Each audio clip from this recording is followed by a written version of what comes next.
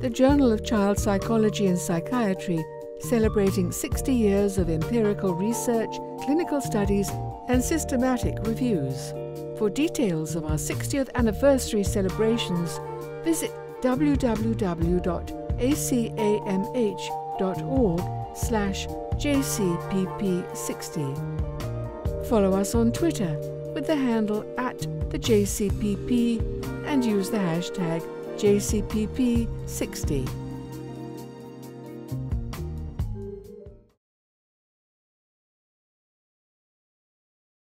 My name is Argyris Stringaris. I um, am the chief of the uh, Mood, Brain and Development Unit at the National Institute of Mental Health um, uh, in uh, uh Bethesda in the uh, United States at the moment. Um, I used to uh, be a senior lecturer and consultant um, at the Institute of Psychiatry here in London in the Maudsley Hospital um, until about 18 months ago. And my association with the journal um, goes a long time back when I was a trainee and um, the the journal helped me make sense at the time. It was a kind of a comfort read, um, helping me make uh, sense of what seemed a very chaotic world in the uh, in the clinic at the time.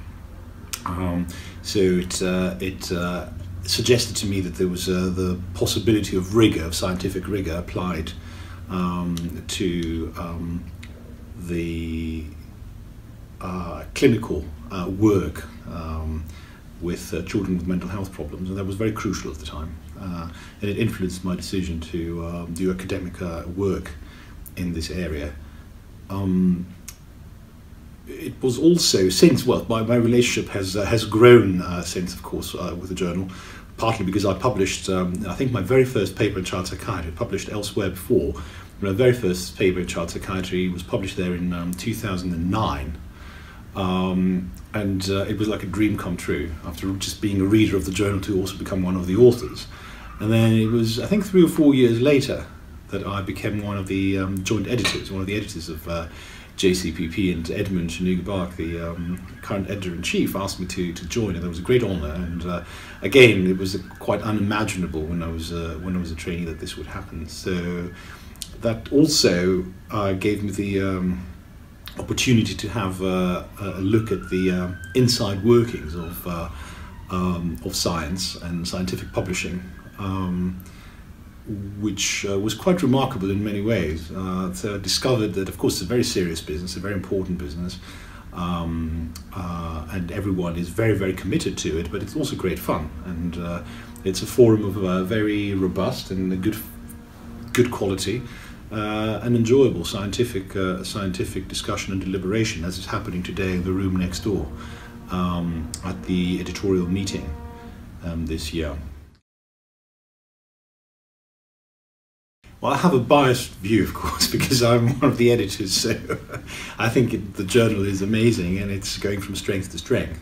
But looking at objective indicators, and for what they're worth, um, they they also suggest that. So the um, um, the citations per paper, the total number of citations per year, have been have been increasing. It is uh, within the ten best journals uh, in psychiatry um, uh, at the moment. And that's a real real um, uh, achievement.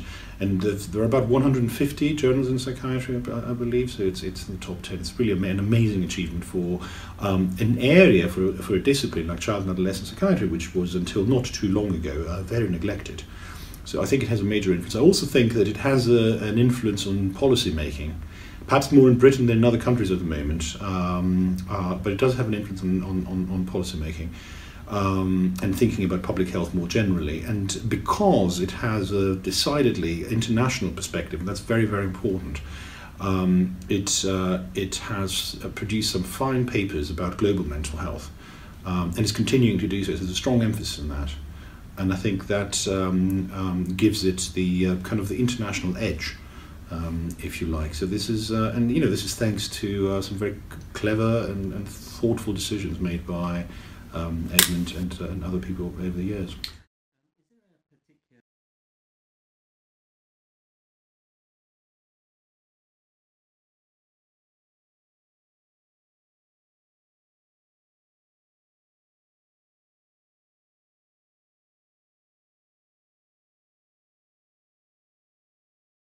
more than I do right now. Um, when I, I had a canon of papers for my trainees, and and and and uh, I created this on the basis of what I had read, which was very important, and of course the new stuff that was coming along. There was I thought I thought of a similar quality. So within that canon of papers, with that very kind of um, uh, tight selection of papers, there were several uh, uh, that came from JCPP. In fact, I think the majority came from JCPP. The reason being that um, it's one of the very few journals that takes uh, uh, such a um, um, developmental uh, perspective on, on, on problems. So, and that's what's been missing from both training and kind of general understanding of uh, psychiatric illness over the years. Um, it is also interdisciplinary. That's another thing that we mustn't forget. So it isn't uh, the journals of psychiatry, the journals of psychology, the journals of education, they are usually quite, uh, you know, these worlds don't always talk to each other.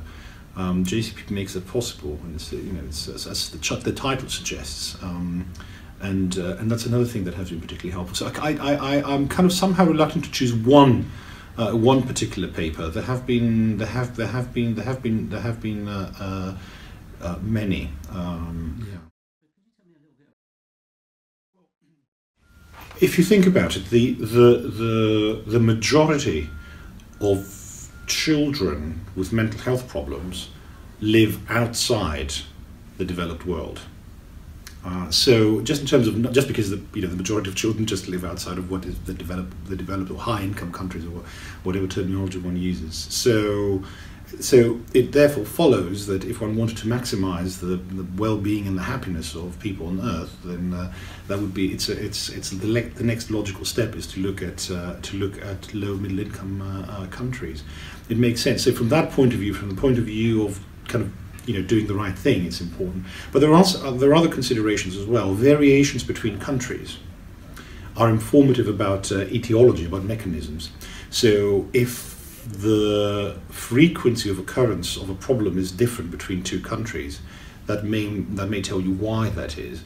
Um, observing what happens in war and famine uh, and what implications that has for mental health problems can be very informative across settings so you introduce variability uh, into the research that can be that can be informative. And there's a third uh, reason, of course, which is that um, things can become stale if it is the same kind of uh, the same researchers doing the same thing all the time. So it's good to bring in other players and people with other ideas and from different backgrounds. So that's very important.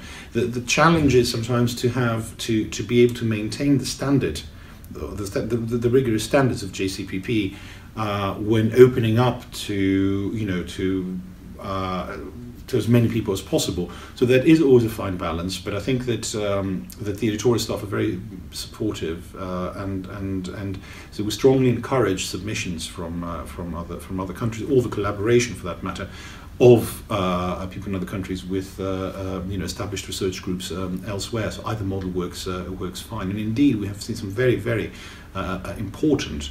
I think I would even say that one of the most important papers in the last couple of years was from a low middle income country, um, and, and it's been an international success. Yeah, so uh, I'm interested in adolescent depression. So, depression is one of the most uh, important public health problems, of course, and, and, and kind of one of the leading causes of the global burden of disease. Um, it is it, it, its maximum incidence is, is, is in adolescence and young adulthood, so most new cases start then.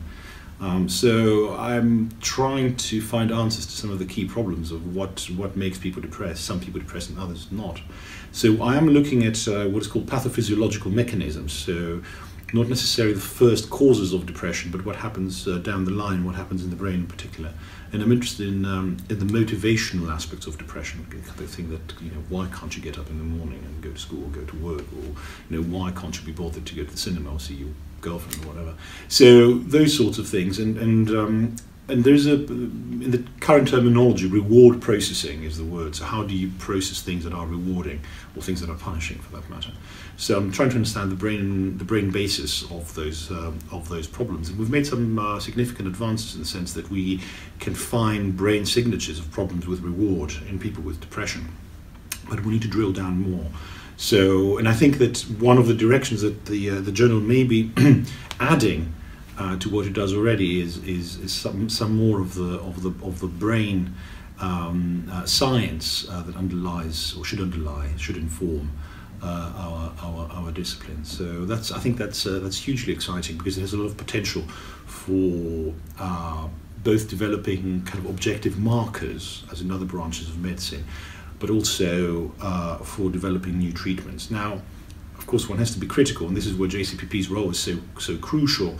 So we don't want to sell uh, brain science as kind of the you know the, the one thing that is mm. important for the future because there are a number of things that we need to be critical about, including uh, the analytical steps involved. So JCPP has a major role to play in that area, I think.